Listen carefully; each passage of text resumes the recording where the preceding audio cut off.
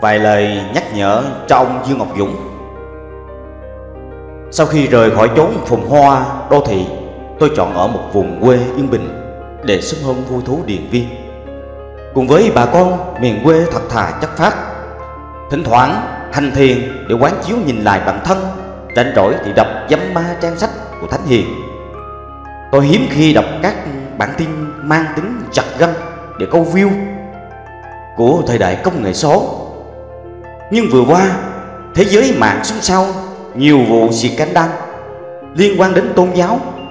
Và một sự kiện nóng hỏi đó là bóp méo sự thật và xuyên tạc Phật giáo với bài báo đi tu mà có 300 tỷ thì trái luật Phật giáo không biện luận được. Của nhà báo Hoài Thanh đăng lúc 7 giờ 8 phút ngày 12 tháng 10 năm 2019 trên trang new zin vn đã khiến bao người bức xúc, khó chịu xen lẫn thương cảm cho nhân vật bên trong bài viết Nội dung bài báo xoay quanh cuộc phỏng vấn giữa nhà báo Hoài Thanh và tiến sĩ tôn giáo học Dương Ngọc Dũng về thầy Thích Thích Toàn và thầy Thích Trúc Thái Minh. Tuy nhiên, nội dung trả lời phỏng vấn ông Dương Ngọc Dũng lại xuyên tạc nói xấu đạo Phật nhiều hơn. Thoạt đầu tôi cũng cảm thấy bức xúc vì ông Dương Ngọc Dũng nói tăng ni quá nặng, sai sự thật. Nhưng sau khi bình tâm lại Tôi cảm thấy thương ông Dũng nhiều Bởi những lý do sau. Ông Dương Ngọc Dũng là một tiến sĩ tôn giáo học Phát ngôn về Phật giáo không hiểu gì về Phật giáo. Ngôn ngữ và giọng điệu trong bài phỏng vấn mang nặng tính hận thù Thái độ mục hạ vô nhân. Người có học thức không phân biệt sự thật đúng sai Mà vua đũa cả nắm. Ông có mở lời, Không nên bôi bác họ khi chưa có bằng chứng. Kỳ thực, ông không làm được điều đó. Vì ba lý do trên nên tôi phải gác lại thời gian quốc đất, trồng rau. Xin được mạng đàm với tiến sĩ dương ngọc dũng. Tại sao nó lại vắng bóng một thời? Trước khi đi vào phần chính, tôi cũng xin giải thích thêm tại sao tôi lấy tự đề Bài viết vắng bóng một thời. Nghe qua hơi na ná giống tập truyện ngắn Vang bóng một thời của nhà văn Nguyễn Tuân, Xuất bản năm 1940 Nhưng ở đây hoàn toàn không liên quan. Sự dĩ có tên gọi đó, Vì ông Dương Ngọc Dũng đã một thời tham gia viết bài chỉ trích Phật giáo vào năm 1994 Cuốn sách bước qua ngưỡng cửa hy vọng của giáo hoàng John Paul đệ nhị. Được xuất bản, nội dung cuốn sách này đã xuyên tạc Phật giáo, bóp méo sự thật. Ngay sau đó, tạp chí Giao điểm đã gửi mời 50 học giả. Nhà nghiên cứu viết bài thì có 20 tác giả gửi đến Giao điểm và tạp chí này đã chọn 18 bài để xuất bản tập sách đối thoại với giáo hoàng. John Paul nhì. Xuất bản ngày 31 tháng 5 năm 1995 Điểm đặc biệt của cuốn sách dày 305 trang Là sự kết tập của 18 tác giả sống nhiều Nơi trên thế giới như Hoa Kỳ, Pháp, Việt Nam, Đan Mạch và Úc. Thậm chí họ không quen biết nhau. Nhưng tất cả cùng chung một lý tưởng là bảo vệ sự thật. Bảo vệ chân lý. Mà bao thế hệ tiền bối cha ông để lại, toàn bộ tập sách đã phân tích, chỉ ra những nhận định sai lệch của tác giả đối với Phật giáo. Mãi gần hai năm sau, có ba tác giả đó là cụ giáo sư Nguyễn Văn Trung. Với bài viết có thể cùng bước qua ngưỡng cửa hy vọng không?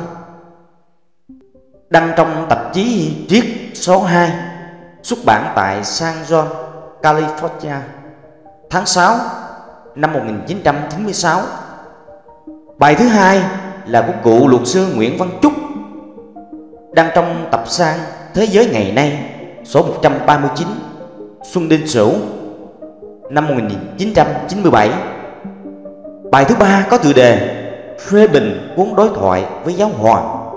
Bản photocopy của giáo sư Dương Ngọc Dũng, In dạng sách dày 102 trang, Năm 1996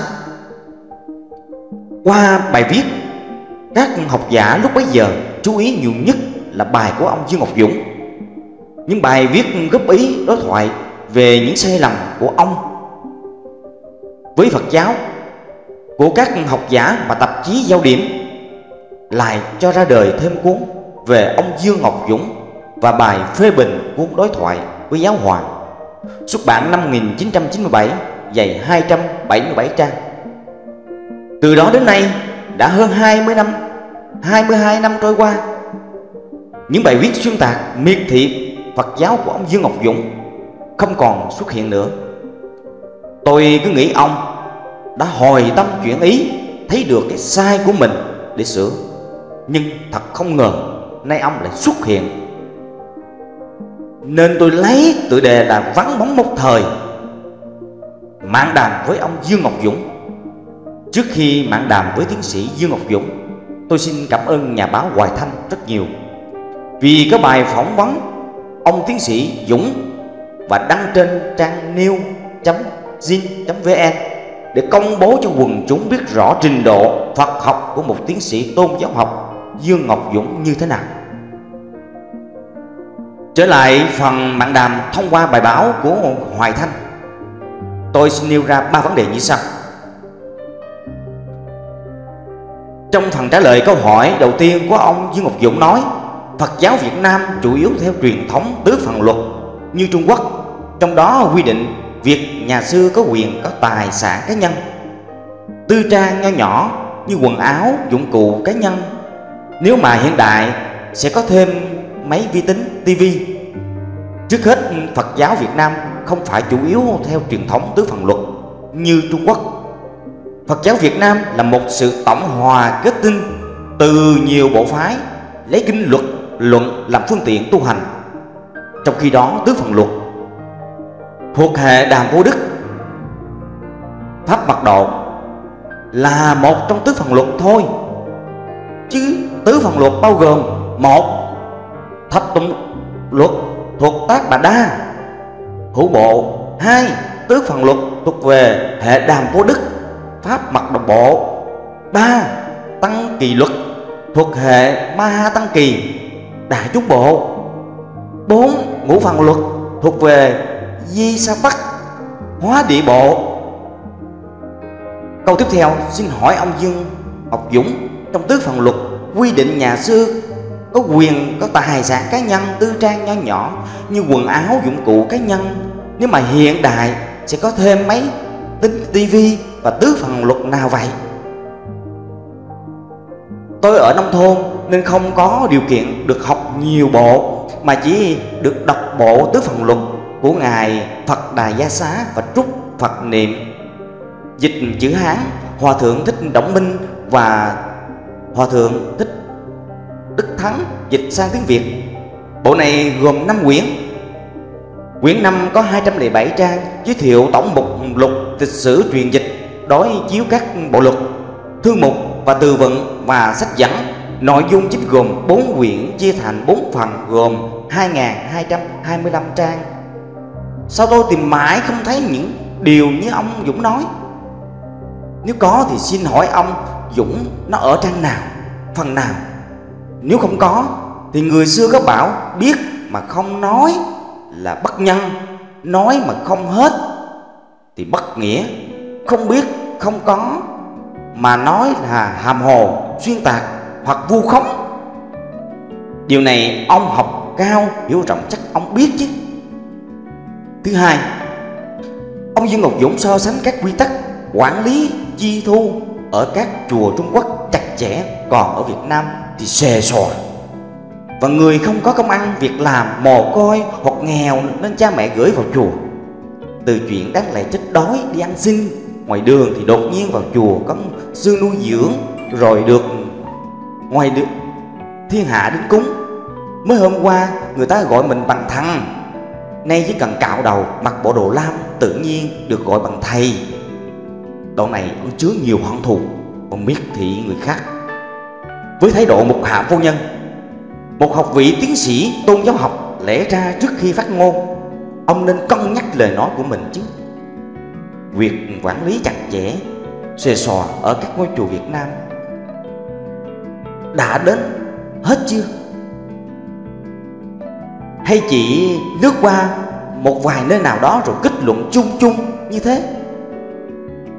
Chuyện nhà chùa cô mang các trẻ cơ nhở, mồ côi hoặc nghèo khó là do tấm lòng từ bi, cứu giúp cộng đồng của tăng ni Phật tử.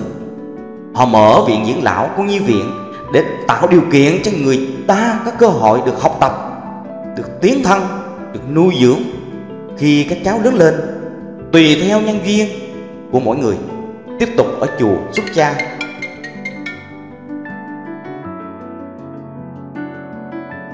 và học lên còn không ở chùa nữa thì họ trở về kiếm việc làm, lập gia đình như bao người khác. Truyền thống tốt đẹp, đầy tính nhân văn này đã có từ lâu đời.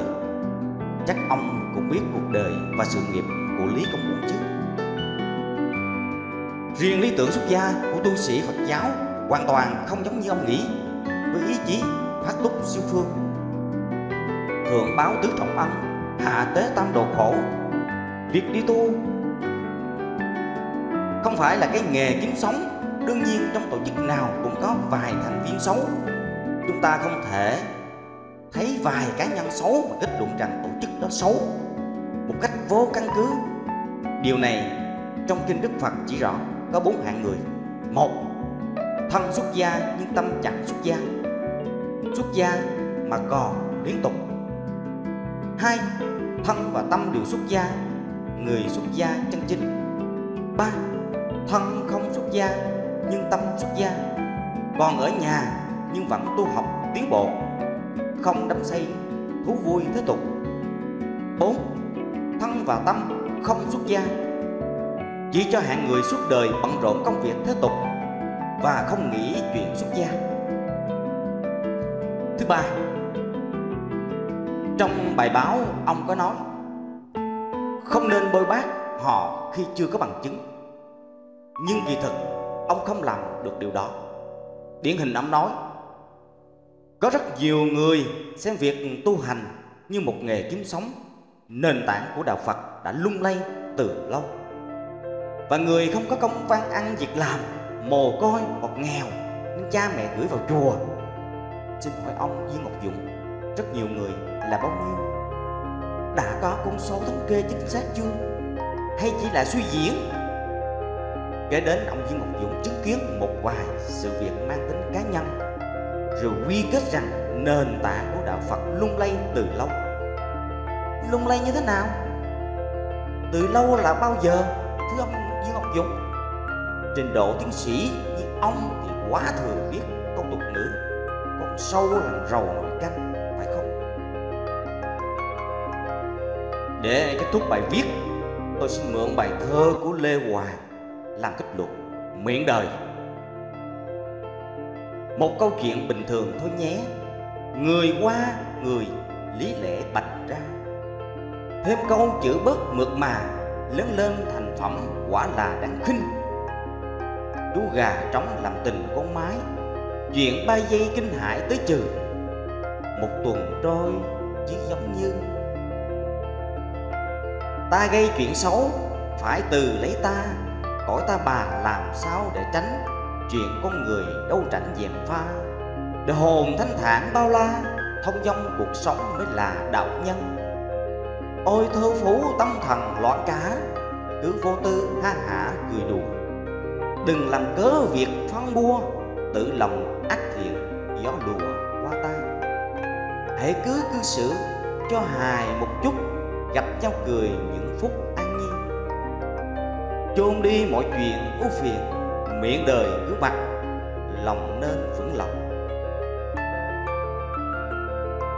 Xin kết thúc ba bài viết cảm ơn các bạn đã chú ý lắng nghe.